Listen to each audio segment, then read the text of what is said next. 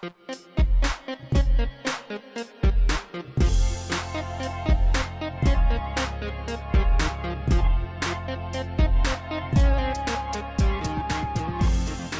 what's going on guys, welcome to the tutorial of Adobe Premiere Pro CS6. In this video I'm going to show you guys how to work with a basic 3D effect that comes in Premiere Pro. In the effects panel here we're going to type in basic 3D. So we're going to left click, bring this onto the video, and we have the basic 3D effect here in the effects controls panel.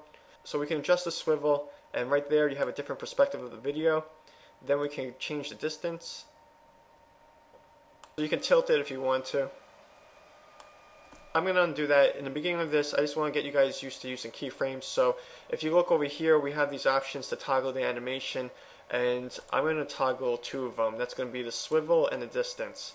So the video is going to start off normal. Then I'm going to add a keyframe here. You can just adjust this and it'll automatically add the keyframes or you can click them.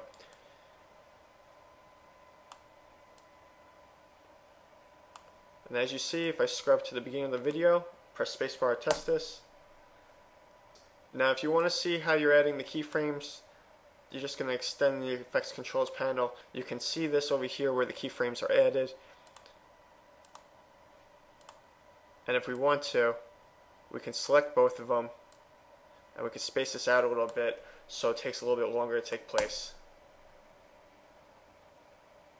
And that shows you a different perspective. Now if you wanted to return the video back to normal, all we would do is add another keyframe over here set at zero,